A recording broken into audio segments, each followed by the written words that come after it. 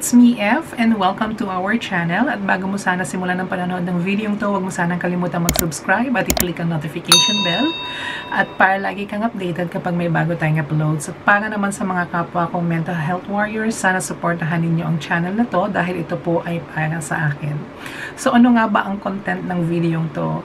Actually, gusto ko lang sanang linawin kasi meron nag-comment sa akin doon sa mga past video videos ko na ang babaw-babaw daw po ng dahilan ng aking anxiety and panic attack. And at the same time, sinabi niya na kapag siya daw ay nagpa-panic attack, talagang naninigas po yung kanyang katawan, panga, and all that. Actually, I totally understand. Naiintindihan ko po kung bakit niya nasabi yun. Dahil sa mga videos ko, parang feeling ninyo na angga-anggaan ng pakiramdam ko, na feeling ninyo na parang easy-easy lang yung, easy-easy lang ako, na parang, na parang wala akong nararamdaman. Siyempre, gumagawa po ako ng video. So, I made sure na when I do videos, ma maganda yung pakiramdam ko. And at the same time, yung video kasi na ginagawa ko, yung pinaka-purpose po niyan is to encourage people na kagaya kong mental health warrior na, uy, may other side pa pala na, uy, in time, maaring nasa grieving process tayo ngayon, pero in time, pwede rin pala tayo maging katulad niya na nahahandle na niya, na ma-manage na niya yung sitwasyon niya. And at the same time, awareness to those people na hindi nakakaunawa para doon sa mga taong may mga mental health illnesses. Siguro kaya niya nasabi yun dahil masyadong common yung mga words na sinasabi ko. Well, totoo naman na napaka-common lang yung mga words na ginagamit ko kasi gusto ko maging understandable or maintindihan ng lahat whether mental health warriors ka or hindi, maiintindihan mo kung ano yung pinaka-konteksto ng aking video. Actually, hindi ko sana siya gagawan ng video ngayon, pero masyado akong medyo naapektuhan. To be honest, naapektuhan ako. Siguro kung nanggaling po yan sa taong hindi mental health warriors, I will totally understand.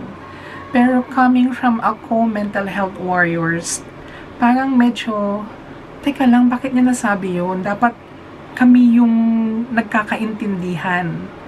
So, ito po, gusto ko lang pong linawin na ang video ko is to make awareness and to encourage people na kagaya ko. Hindi po ito contest na kung sino yung may pinakamalala o hinding, o hinding sitwasyon sa pinagdadaanan niya for mental health. So, sa akin, maaaring nakikita po ninyong okay ako or hindi, pero para sa akin, matindingin naman po yung pinagdadaanan ko. Matindingin po yung pinagdaanan ko bago ako umabot sa puntong ito na kaya ko na siyang i-handle. So, siguro bibigyan ko lang kayo ng konting background. Kwento na lang din tayo para at least maintindihan ninyo kung paano ko nasasabi itong mga bagay na ito. Yung mental health issues ko po, nagsimula po yan nung bata pa lang ako. If I'm not mistaken, I was grade 3. Nung grade 3 ako, nagkaroon ako ng childhood trauma. Pinalayas po ako sa bahay ng tatay ko. Doon po nag-start ang aking mental health issues. Bakit? Pinalayas ako ng tatay ko, pinagsabihan ako ng mga masasakit na bagay at ang pinakamasakit sa akin doon nung time na pinalalayas niya ako, yung mga kapitbahay namin na mismong kamag-anak namin, wala silang ginawa kundi pinagtawanan lang ako. So yun hanggang ngayon nandito yun sa utak ko. Hanggang ngayon hindi ko maproseso na bakit kaya nagawa sa akin yun ng, ng tatay ko, bakit kaya pinagtawanan ako ng mga kamag-anak ko na parang tuwang-tuwa sila sa mga nangyari sa akin. From then, in-isolate ko na po yung, yung sarili ko. Parang naging paraya ako sa sarili kong mundo na parang ayoko nang makihalubilo sa mga tao kasi takot na takot po ako sa salitang rejection. Yan po yung pinaka-fear ko sa lahat is rejection. At umabot din po ako sa puntong nagkaroon ako ng suicidal tendencies. Actually, hindi siya tendency kasi ginawa ko na po talaga siya eh. imagine at the age of 9, 10, maiisip mo yung bagay na ganun. Ginawa ko po yun dahil parang feeling ko wala akong halaga. Parang feeling ko unwanted ako. And then, time goes by, akala ko okay lang yun dahil bata pa ako. Pero from time to time na lumalaki ako at nagkakaisip ako, mas lalo kong nararamdaman yung sakit dahil mas lalo kong naiintindihan yung sitwasyon ko. So, nagigets po ninyo. So, after noon, then sige, lumaki akong ganyan na naging loner in all that. Year 2002, nabali po yung pa ako. Nadisgrasya ako, nabali yung pa ako. Actually, siguro maaaring sabihin nyo, oh, chagot-chagot lang yan kasi gusto lang humingi ng sympathy and all that. Actually, I can prove that to you. Kaya kong patunayan. Wait, tatayo lang po ako at papakita ko sa inyo. Pasensyahan nyo na po yung, yung shorts ko, ha? Ito. Ibababa ko lang po kayo ng konti. I'm not sure kung kita. Baba natin. Yan. Nakita nyo po yan, yung... Kung nakita po ninyo yung tahing yun, doon po naputol yung paa ko. Naputol po siya at nilagyan ng bakal. Hindi po ako makalakad. Ilang taon po akong nag... Ilang taon po akong nag therapy para makalakad ulit. Natapos po ako sa sitwasyong iyon. Year 2016 or 2017, nagkaroon ako ng adenoma sa leeg. Lumaki, pinabiopsy, and all that. Year 2019, hindi na kinaya. Kailangan na siyang tanggalin, total thyroidectomy. Wala na po akong thyroid ngayon. And then, after that, pinabiopsy yung tinanggal sa aking bukol and it turned out it's cancer. So, yung pa lang, yung mga pinagdaanan ko pa lang yun is torture na siya sa mental health ko. To think na meron na akong issues sa buhay ko when it comes to my mental health. Tapos darating pa yung mga ganitong sitwasyon. Last year, I was diagnosed naman with chronic kidney disease. Actually, yesterday, katatapos ko lang ng aking part 2 of Shockwave. So, yun. Kumbaga, yung mga sitwasyon na yun na bag, yung mga ganung bagay, sobrang torture po yun sa mental health ko. And then now, sabihin po ninyo sa akin, mababaw po ba yung mga pinaghuhugutan ko ng mental health issues ko? Okay guys, wait lang po akong may manginig man po kayong ingay or salita, huwag yun na pong pansinin kasi may tao po sa labas na dumating. So, tuloy po tayo. So, paano ko sasabihin or mapapatunayan sa inyo yung mga bagay na yan? Ito lagi na ninyo nakikita ito sa aking videos eh lagi akong may health records. Ito yung resulta ng mga laboratories, mga ultrasounds, yung result ng aking mga CT scan and all that.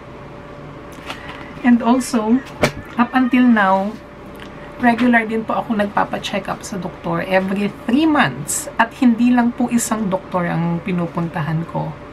Apat po. Isang endocrinologist para sa leeg ko. Isang nephrologist para sa kidney ko, isang urologist dahil co-management sila para doon sa aking kidney, and at the same time yung psychiatrist.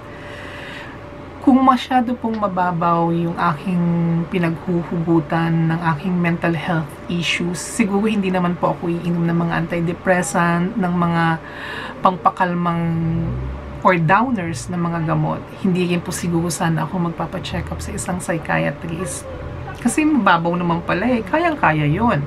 So, para patunayan din sa inyo na meron akong chronic kidney, kidney disease, this is my sonogram or CT scan. Actually, makikita ninyo dito yung bakal na kinabit sa akin.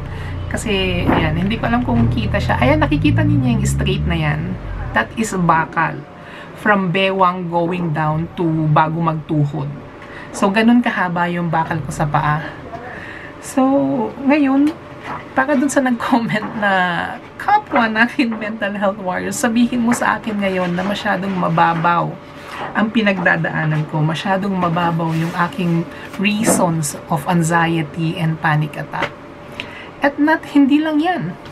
Since nagpapadoktor ako sa apat na espesyalista, of course, gagastos ka sa gamot. I'll show you. This is my PWD booklet. Salamat na lang dahil meron akong ganito dahil kahit papaano nakakakuha ako ng discount sa mga gamot.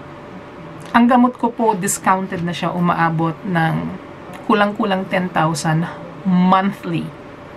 Financially, mentally torture yan sa akin dahil saan ako kukuha ng ganyang kalaking halaga buwan-buwan and at the same time, kailangan ko ring mabuhay para sa iba ko pang pangangailangan, pagkain, yung mga basic needs.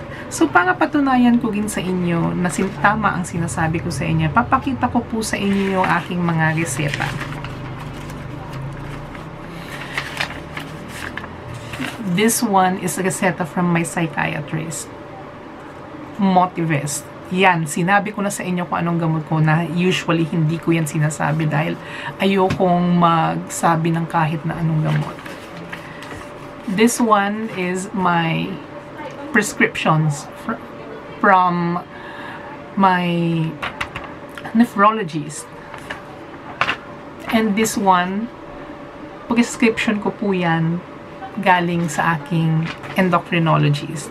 Yung prescription ko sa urologist, same lang sila doon sa prescription ko sa nephrologist ko, kaya hindi ko na ipapakita sa inyo. And just to prove na akin po itong PWD, uh, PWD booklet, ito po ako. Okay? So, yun when it comes to physical health, when it comes to financial concerns, sobrang mental torture po yan para sa kagaya nating may mga mental health issues. Yung iba nga na problema eh. Yung iba na problema, paano po ako gagaling? Paano po ako ganito ganyan? Yung pangpa-doktor po, hindi ko po kaya. I'll show you my medications po. Gagalawin ko ulit kayo ha. Ayan. Nakikita po ninyo yan. Yan pong mga box na yan. Yan po yung aking mga medication. This one is for my kidney. This one is for my diabetes. Yung iba dyan is para sa aking thyroid and all that. This one, hindi lang po yan umaga tanghali gabi. Ito po ay iniinom ko tuwing madaling araw. Ito po ay thyroid hormones ko dahil wala na po akong thyroid. And since nakabak siya, ito po yung nilagay ko sa pang-araw-araw. This is my morning medication. Yan. This is my lunch medication. And this is my bedtime medication. Iba-iba po yan. And these are the emergency medication. So, if in case na, kasi dahil meron akong problem, Ayan, balik kayo sa akin. Kasi dahil meron na po akong problem sa thyroid ko, may possibility bumaba ang aking calcium at doon po mang, bigla na lang po akong manghihina, bigla na lang po akong parang magiging lantang gulay, kailangan ko ng calcium. So, yun. Medyo, ano lang po sa akin, medyo hindi ko naman sinasabing wala siyang karapatan to comment, but medyo sana pag-isipan naman po natin kung ano yung sasabihin natin na hindi tayo makakasakit ng ibang tao. Although hindi po ako nasaktan, hindi ako na walang problema sa akin. So, gusto ko lang ipaliwanag yung side ko kung bakit po ninyo ako nakikitang ganito na parang okay lang ako kasi gusto ko pong gawin yung sitwasyon kong magaang. Ang hirap-hirap na po ng mga pinagdaanan ko, ang hirap-hirap na po ng mga pinagdadaanan ko sa ngayon physical, mental, financial, napakahirap na po. So, bakit ko pa dadagdagan?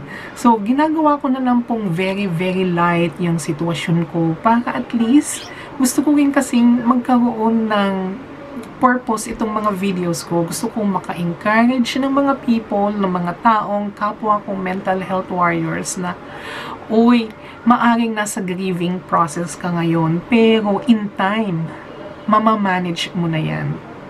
So, para po doon, hindi ko na siya papangalanan, para po doon sa aking co-mental health warriors, kung mental health warriors ka nga, sabihin mo sa akin ngayon kung ang babaw ba ng dahilan ng aking anxiety and panic attack.